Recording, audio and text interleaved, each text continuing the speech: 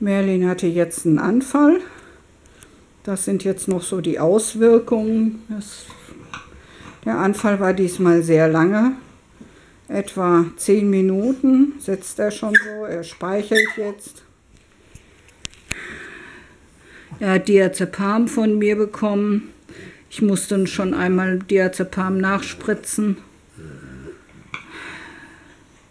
weil es diesmal nicht ausreichte.